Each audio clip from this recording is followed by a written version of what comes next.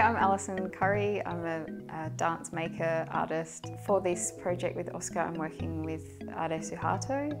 Uh, this project is the idea of what if a sports field became an arts field and how we can have these artistic interventions and activities within that community space.